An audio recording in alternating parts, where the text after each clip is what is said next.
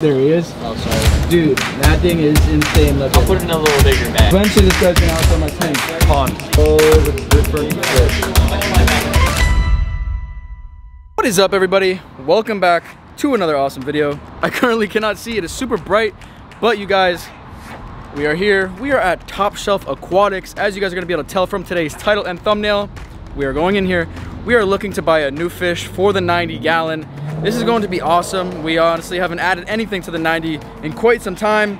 You guys are gonna see my video before this, and that is going to be my coral shopping spree. And I mean, that's the most coral I've ever bought in one purchase, so it's awesome. We had a lot of fun doing that, but now we're gonna have a different kind of fun. We're gonna look at some of the fish inside of Top Shelf. Hopefully we can pick out a nice little new guy for my 90 gallon that we originally bought from Top Shelf. So you guys, we're gonna go in here, take a look at all the fish. I'm gonna show you guys all the fish. Let's see what we can pick out for the 90 gallon. Let's go in here and do this thing.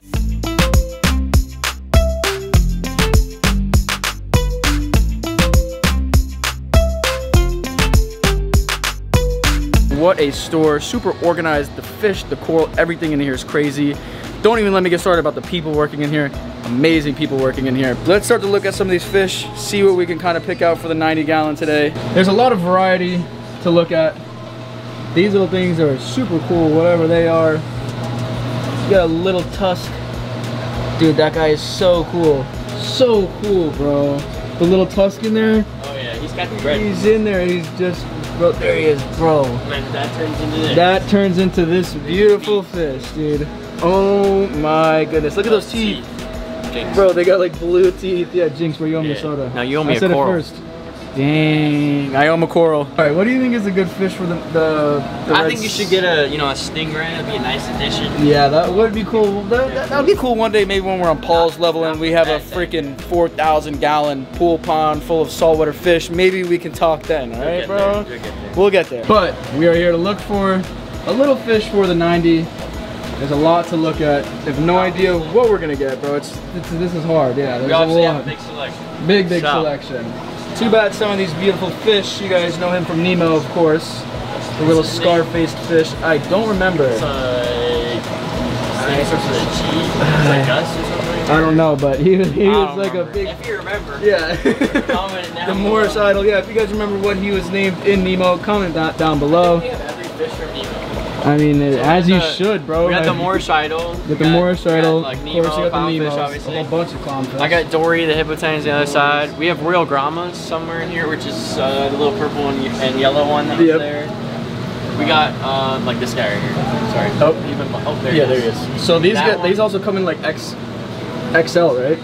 Uh, yeah, Isn't I don't like have any right now. Royal Grammas? Those are Um, pretty cool. Look at this sea urchin. He's got anemones on the back of it. I mean, um, Hermit crab. hermit crab. He's got two anemones on the back of That him. cool. Are That is pretty crabs. cool, bro. Look at that thing. Those are the first ones I've ever seen. I ordered them this week just because I thought they were sick. Dude, that thing is Sure so cool. He just cool. walks around with an anemone.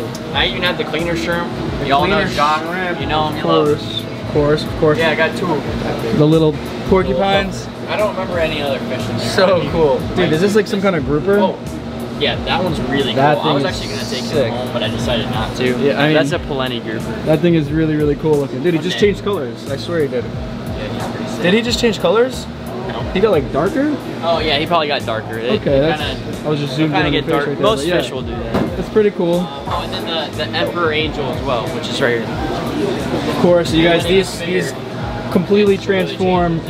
Very cool. I've showed you guys that a couple times. Yeah, here's a bigger one. Starting to change. He's still got like that Now, look. You can't have one of those, unfortunately. Unfortunately, because it's not really safe. As you guys can tell, a lot of the really pretty fish There's you can't have. You would think you got fish swimming through a coral reef, you're thinking of all the bright, crazy, cool fish. Well, fortunately, something like this guy right here is just not nice. Most of the time, a lot of these fish, they come in, they've never tasted a piece of coral in their life. The second they do, they're like, holy crap, that is delicious. Let me eat all of it. Pretty Right? much, yeah, yeah. I mean, he's got such big pieces in his tank. Is that a powder brown? Yeah. Oh no, that's a that's the is this powder brown or is it the white the yes.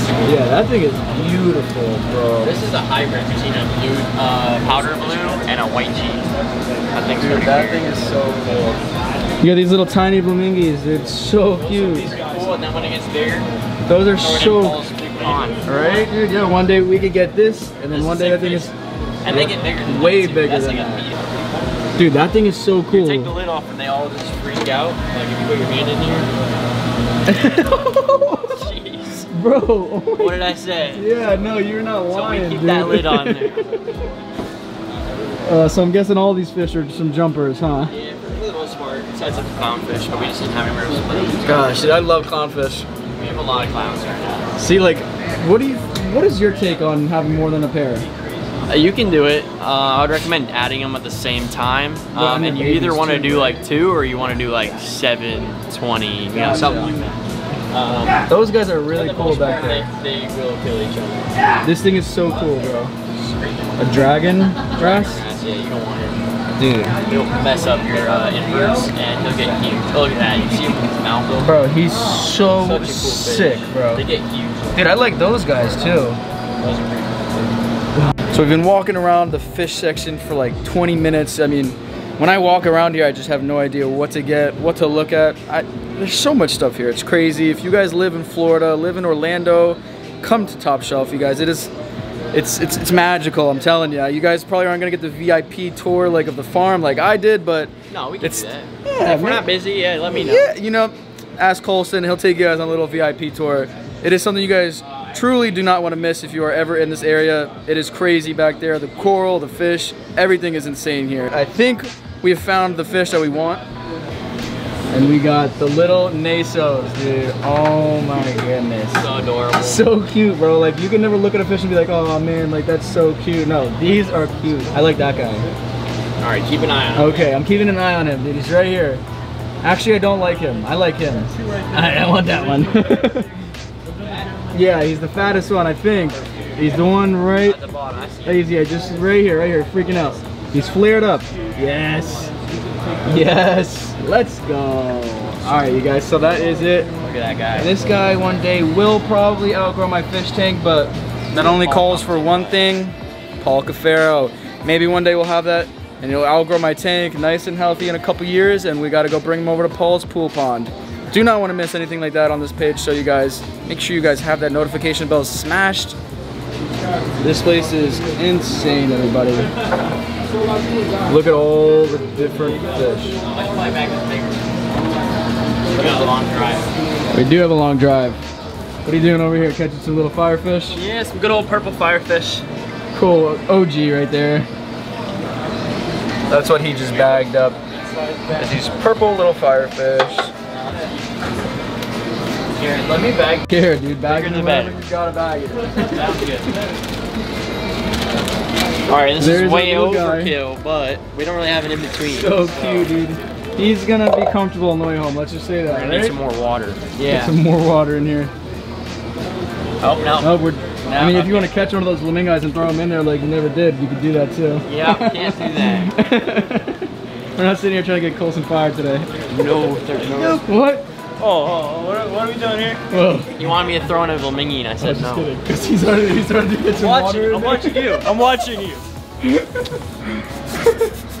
he swam right into the container, dude. He wanted to come home with me. That's the only reason I said it. All right, so then we get the ox. We got the oxygen going. first- hey, Hey, man. What'd you get? It's like we Four come, we come here together and then like we, we just vanish from each other. I haven't seen Paul in like an hour, bro. It's been like 30 minutes. I'm kind of interested to see what you got, bro. dang, you're going at it, Huh? I got a nice little tang, I like dude. it, I I had like to. My first tang. A little blonde naso. That's A little awesome. twist. So I, I mentioned Paul, this tang is gonna, yeah. it's one of the very big tangs. So eventually this guy's gonna outgrow my tank. Pond. Right in the pond. can go swimming with Right in the pond. Yeah, maybe I could uh, Dude, put that's him in. another reason to just do angels and stuff. You could go swim in there, not feel like a tank. Oh, I know. I'm gonna literally vibe in there with my scuba mask on. That'd be the, the thumbnail would be amazing. You know? Tell me how you're gonna like. Are you gonna like go in there and like try to communicate with these fish? If Yeah. so, how are you gonna do it? Like when you swim up to them. I'm gonna go down there with a Ziploc bag over my head. Look at how stinking cute he is, dude. He's in my video. A little blonde naso. The whole box spin, huh? Yeah, it's How many hard to fish bag. did you get, bro? I got four mono. What did you get? You got stuff too. I haven't seen you in an hour. I know, man. It's it's hard. And When you come here, dude, you just you This just is- get distracted. I What- just got my little you got. test fish. My Come on, small. now. Are they still in the tank over there? No, You maybe. all of them. There's two more in there, right? There's two more. There's two more. Show me what they look like. What monos? Oh, monos, yeah. This is what Paul got. I don't know what they look like because I can't see in the bag, but we're gonna quickly show you guys. They're in here with the, the you probably saw them earlier Oh. with the test. Oh, dude, so they do look like little pacus. Yeah, basically. Is that what you guys keep like in your little algae systems? Uh, yeah. Back there? Yeah. Okay, Yeah, so I've they- always wondered what kind They of help fish those raise were. the uh, nitrate and stuff in the tank because our corals are always sucking out the nutrients. So those are good. Those are, like, those are yeah. kind of a good fish to have. And they get big and they'll knock corals over, so that's why we keep them in the summer. Well, that is what Paul got. Those are actually gonna look awesome. Yeah, they will. They look pretty sick in a look spawn. awesome. They get like, So sick, I bro. mean, they get big, like like, that. Kind of like pacus, Yeah. bro. Seriously, like they are kind of like a yeah. pacu. So they'll look pretty cool in the pond. Those- Dude, he's so That's sick. Look at how beautiful this angelfish is. Like, holy crap. You still shopping or what? No, I was just kind of just throwing some filler in there, showing everybody how awesome this place is. Yeah. It really It is, is. right, dude? It's a whole nother planet. I told him it's magical in here, bro.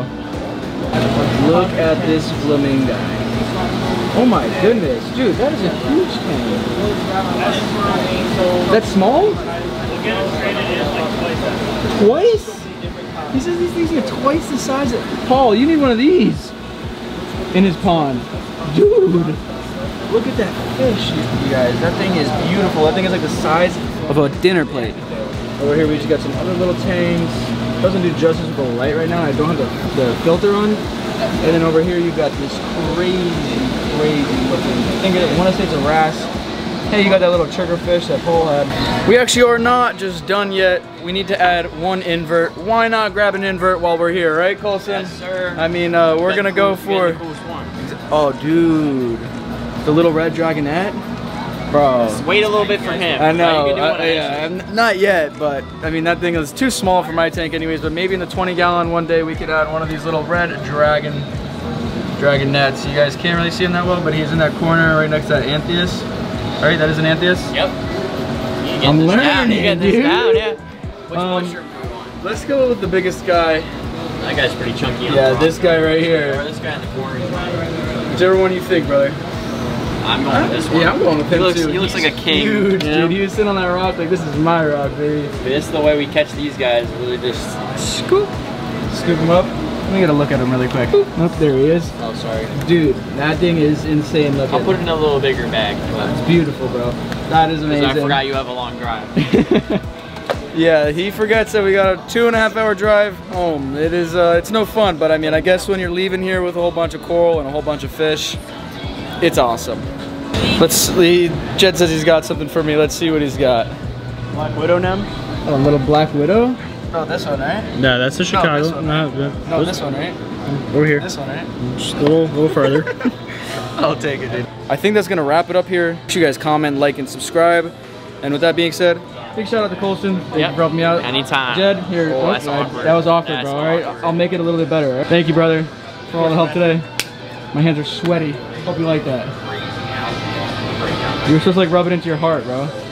Whoa! so we're checking out right now for the Naso Tang, the blood shrimp, the black widow, and then we also got hooked up for some alpha reef. Let's see what this fish is gonna run us as far as the blood shrimp as well. All right, Colson, I'm not With seeing nothing. widow. I'm not Oh. seing nothing. This screen's broken right now. You can come around if you want. You can come around. We're coming around to see what we got. We got the black widow, the Naso, and the blood shrimp. Oh, dude, I just just spent like 700 bucks, bro. You guys Yeah, can't help me out I mean- a little bit more than that? Yeah, a little. He's like, I don't want it. Take it. I don't want it. you don't want it? We'll all back. Put it all back. I'm just kidding. All right.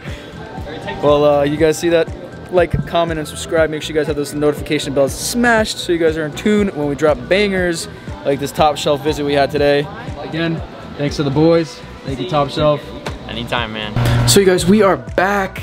As you guys can tell, we are back because my 20 gallon is full of coral. Go and check that out if you haven't finished watching this video or whenever you finish watching this video, make sure you guys don't miss out on that one because that was a banger. We got a whole bunch of coral for the little 20 gallon, which is eventually gonna be moved over to the 90 gallon where Mr. Naso Tang is also going to be heading once he's done with his quarantine treatment over at Tommy's.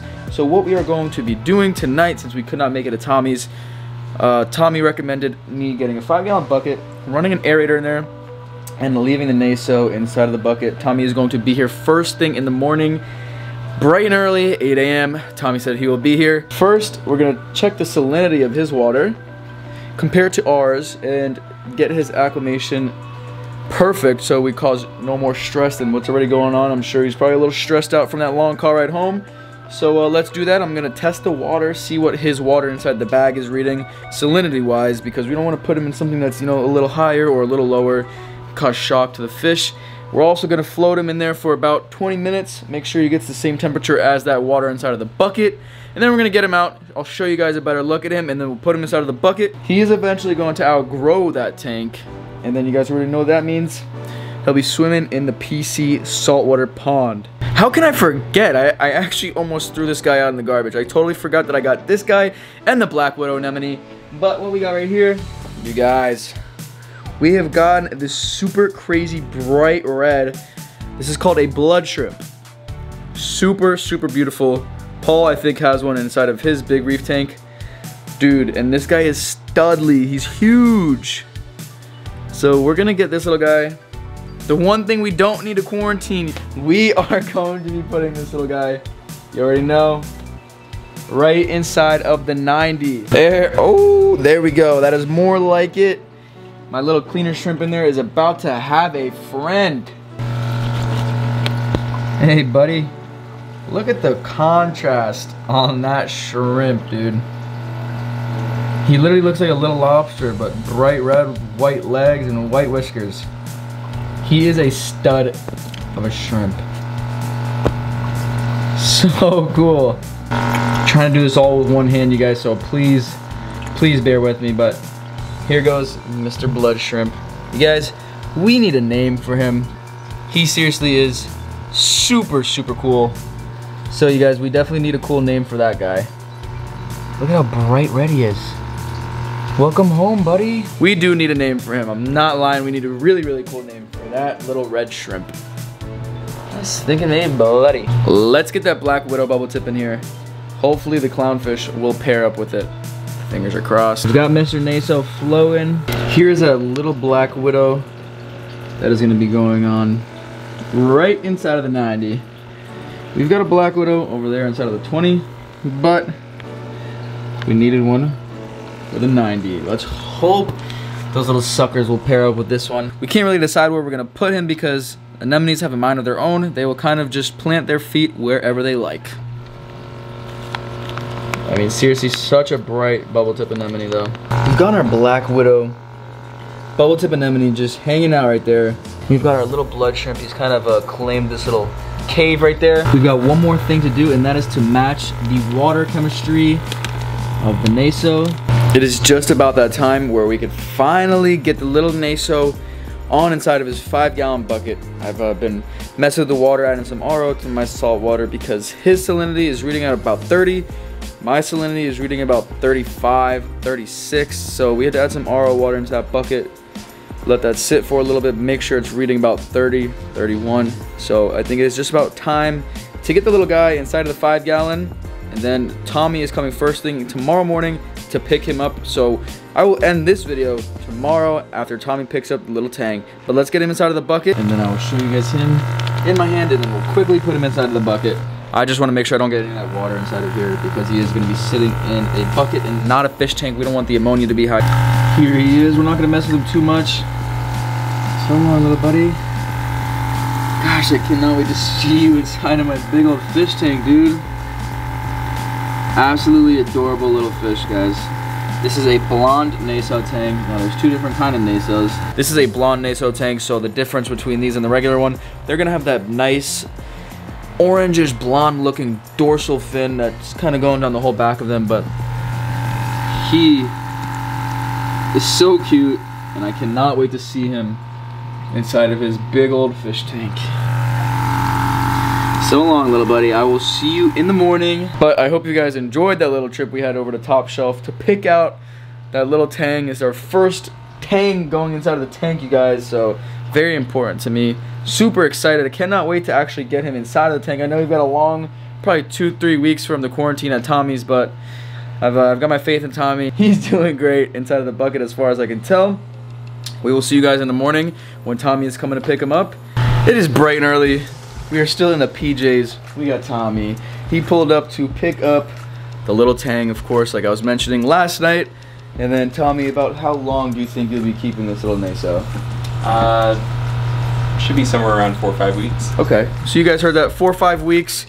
Let's hope maybe Tommy can work some magic and it's closer to three. Who knows? But I will definitely keep you guys in the loop of that whole process. Like I said before, make sure you guys have those notifications smashed so you guys do know whenever we do move that little Tang inside of the 90. Tommy, take care of him, right? Yeah, we'll do. So long, buddy. So long.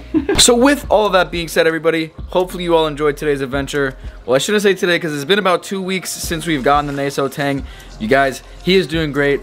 He is actually just getting ready to be moved on over to my tank. So you guys, like I said a hundred times in this video, make sure you guys have those notification bells smashed because we've got a banger coming up. We got a whole lot of fish for that 90 gallon. So you guys, I'll wrap this right here. Make sure you guys are sticking around. With that being said, I will see you guys on next week's episode. Peace out.